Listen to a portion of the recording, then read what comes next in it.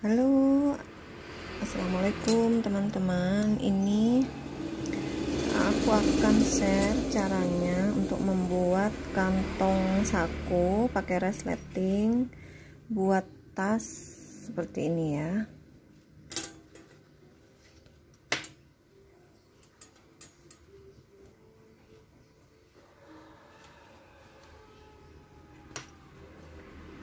Ini ukuran ukuran untuk tasnya ini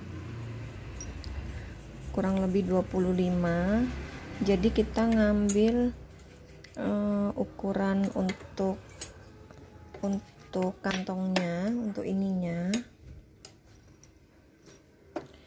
Ini 25 kali 35 cm kita ambil 3 cm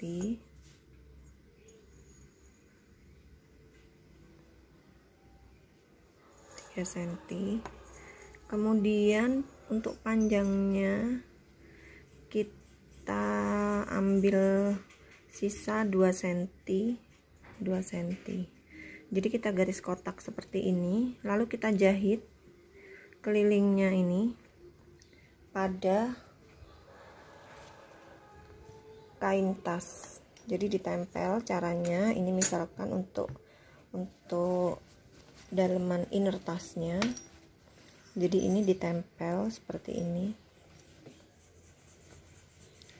Untuk jarak nempel ininya dari atas ke bawah kurang lebih 7 cm kurang lebih 7 cm ini kalau nantinya ini di uh, karena ini atasnya aku nggak pakai resleting jadinya nanti uh, lipatnya agak agak banyak jadi kurang lebih kalau ini 5 eh, cm jadi nanti uh, ukurannya 5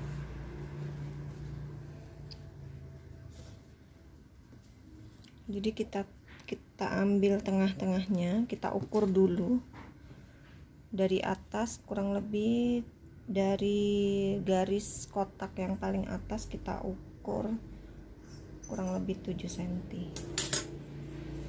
setelah ketemu 7 cm kita ambil tengah-tengahnya. Kita ambil tengah. Nah, sudah di tengah. Sudah di tengah seperti ini lalu kita uh, kita semat pakai jarum. Lalu kita jahit kelilingnya tadi keliling yang sudah kita garis tadi. Kita jahit oke? Kita jahit dulu setelah kita jahit jadinya seperti ini. Sudah kita jahit lalu kita lipat jadi dua. Kita gunting tengah-tengah antara jahitan. Lalu kita buka lalu kita gunting di tengah jahitan terus sampai kira-kira berhenti satu meter eh satu satu senti di sini. Kemudian digunting ke pojok jangan sampai mengenai jahitan. Ini juga ke pojok jadi membentuk segitiga.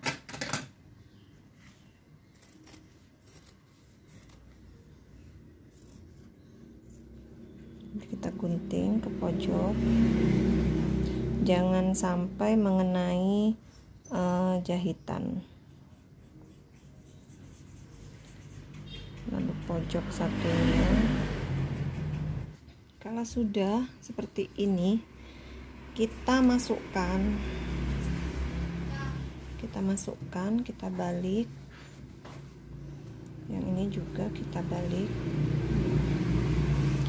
Kalau misal ingin rapi kita setrika. Jadi kita rapikan dulu. Kemudian uh, kita setrika biar uh, jahitannya garis-garisnya rapi oke okay? nah setelah rapi seperti ini kita ambil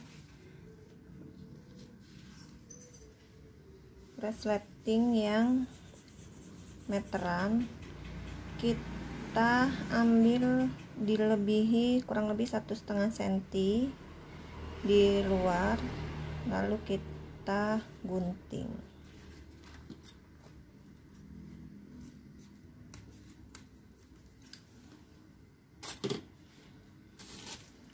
Kita siapkan kepala resletingnya.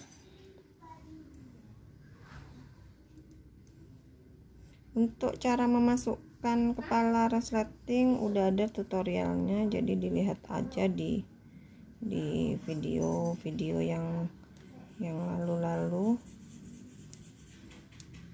Kalau kepala sudah dimasukkan lalu kita taruh di bawah seperti ini. Ini kita taruh di atas. Kemudian kalau takut bergeser kita bisa semat uh, jarum.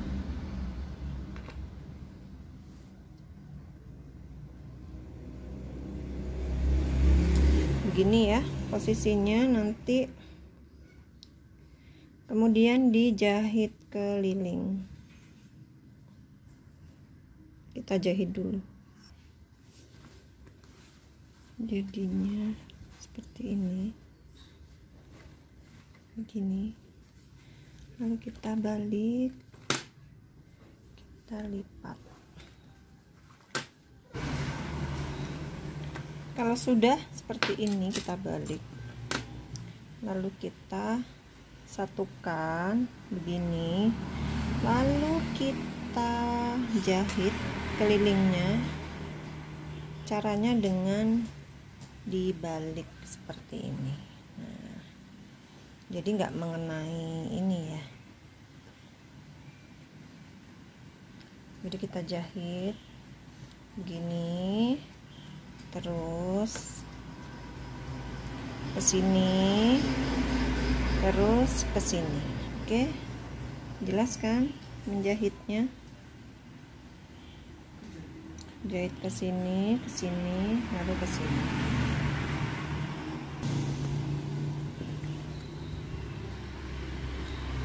sudah selesai dijahit kelilingnya nah kita lihat hasilnya